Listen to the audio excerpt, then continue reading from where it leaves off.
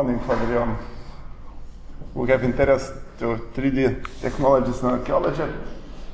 Uh, at my presentation, I will discuss one from our projects created with our colleagues. It was a small pilot project, but oriented to using of 3D technology and monitoring of cultural heritage. And uh, actually, urban cultural heritage. Why urban and why oh, uh, cultural heritage in the cities? Uh, because it's one from biggest problems in preservation of cultural heritage. From one side, uh, cities areas are very large areas. For example, in Lithuania, uh, Vilnius old town is about three and a half square kilometer. From other side, uh, cities uh, are very sophisticated. It's the buildings, it's the green areas, it's the streets and uh, places and different kinds of urban architecture. Uh, from uh, for next step, uh, these areas are very influenced by contemporary society because all cities, including um, capital cities, they are uh, very uh, useful for contemporary society. They are live cities and they could be destroyed, they could be changed in,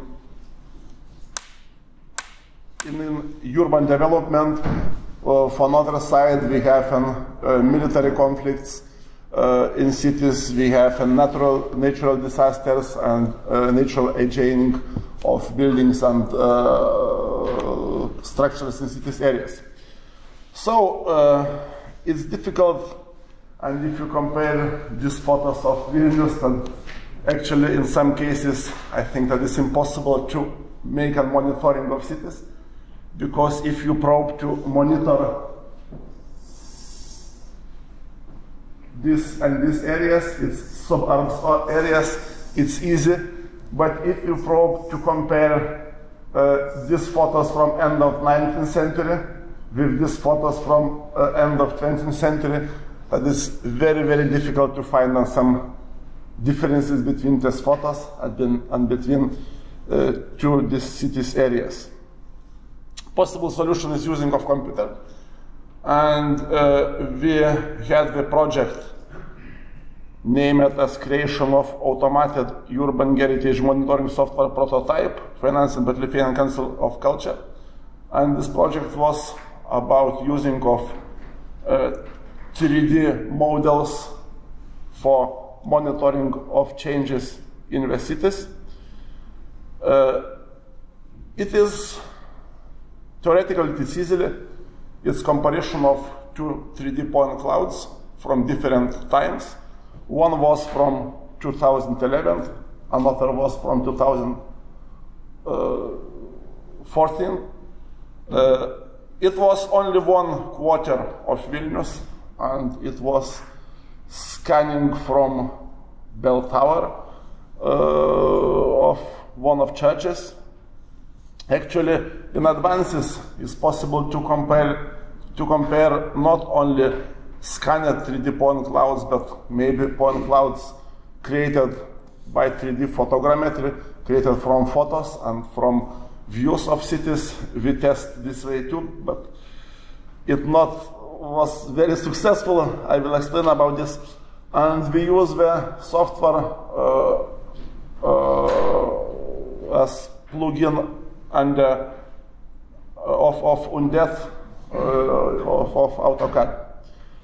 So, uh, what was the main results of our project? its photos shows the comparison between two 3D point clouds. actually, we can find a lot of growing trees because by three years a lot of trees grows and we find this, but for another side we find the big changes. It's in blue, because in blue it's differences in shapes more than one meter. Actually, in blue, it's new buildings or new parts of buildings or destroyed buildings or destroyed parts of buildings. But in this quarter, we find one, two, three big changes. But most interesting finding is here. Visually, and by photos, it's the same roof. Because by shape, by materials, by visual view, it's, this roof is not changed. But our, our tool shows that it changes about uh, 15 centimeters. Actually, uh, the people who, uh, who use this building, they change the roof and uh, make a new roof for 15 centimeters high. There is possibility to find not only big changes, but find changes uh, of not too big shapes, not too big changes. Uh, it's about 10 or 50 centimeters.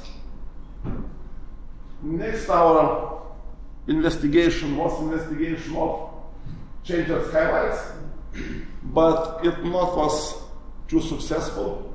Actually, we found uh, some changes, but in this case, the biggest problem is that skylight is inflexible, and it's very difficult to fix this uh, by using of 3D scanning technology. We can, uh, we can find only changes in shape because usually skylight is about some centimeters higher than roof, but, but it's not too successful.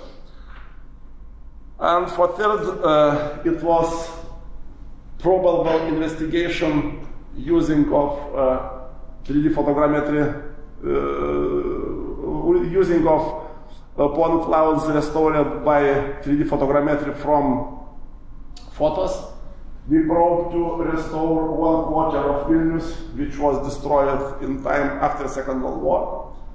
But uh, uh, actually, creating of 3D point cloud was successful, but uh, possibility to compare this with uh, city view was not successful because uh, we have a lot of photos of this quarter but these photos are made in the approximately long time, from the middle of 19th century to the middle of 20th century, and it's very difficult to create a real point cloud for these photos.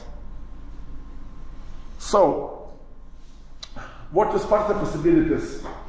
Actually, it's possible to use the same methodology in each cases where we need to find the differences in two shapes or differences in two point clouds. For example, it could be monitoring of natural processes as Antarctic ice, changes in Antarctic ice, as growing of forest deforestation, terrain damages, and similar things.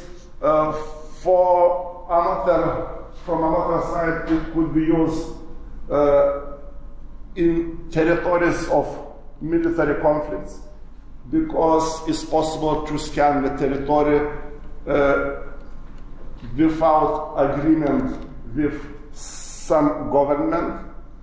Actually, if we talk about demolitions of heritage in territory of Islamic State, but it's possible to scan this territory to, uh, and to compare the scans from different time without agreement with this government that uh, actually I know that it's some on the border with scientific ethics, but in some cases it could be useful.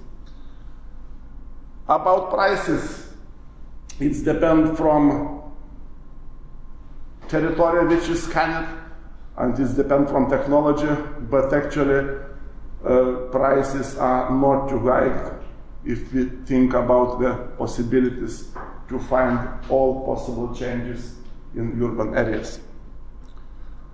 About weaknesses, the biggest weaknesses is data quality and point cloud density because actually if we talk about big changes, about big demolitions, about changes by tens of centimeters or by meters, that it's very useful. But if we probe to find the not too big changes, for example, changes in the shape of doors or shape of uh, windows or structure of windows that we need for more detailed 3D scans that I used uh, in our project. And uh, from another side, more detailed scans are more expensive. That actually in this situation we must compare the possible additional value and the price of this monitoring of uh, this of using of this system. Thank you.